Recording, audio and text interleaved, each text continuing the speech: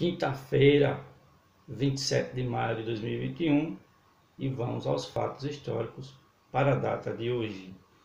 No ano de 1703, o Cesar Pedro o Grande funda a cidade de São Petersburgo, na Rússia. Em 1941, o navio de guerra alemão Bismarck é afundado no Atlântico Norte, matando quase 2,1 mil homens.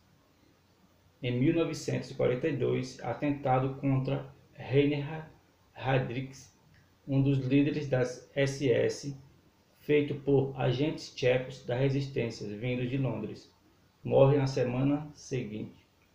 Em 1947, na Alemanha, são executados 22 dos condenados no processo de Mauthausen. Em 1977, tentativa de golpe de Estado em Luanda, Angola, por um grupo de dissidentes do MPLA, partido no poder, estima-se que quase 30 mil pessoas tenham sido mortas na sequência de incidentes após o falhanço do golpe. Em 1990, o liberal César Gaviria Trujillo é eleito presidente da Colômbia em eleições marcadas por alto índice de abstenção. Em 1994, o Nobel de Literatura russo Alexander Solzhenitsyn regressa à Rússia após 20 anos de exílio nos Estados Unidos. No ano de 2000, o principal partido protestante da Irlanda do Norte aprova seu plano para restabelecer a divisão de poderes com os católicos. Em 2007, a RCTV é retirada do ar pelo governo de Hugo Chávez, de quem era ferrenha opositora. No lugar entra o canal estatal TVS.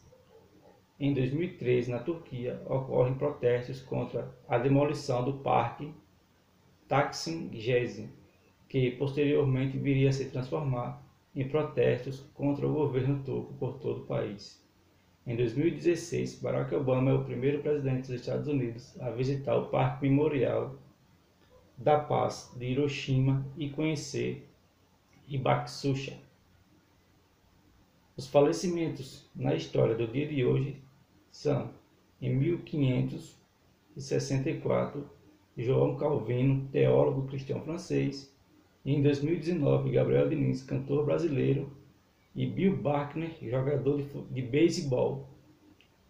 Os santos da Igreja Católica para o dia de hoje, Santo Agostinho de Cantuária, Santa Restitua de Soura, Santos Júlio e companheiros, são Eutrópio de Orange, Santa Melângela, Beato André Frank e Santa Zacarias de Viena.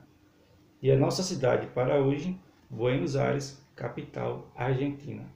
Então é isso, gente. Até a próxima.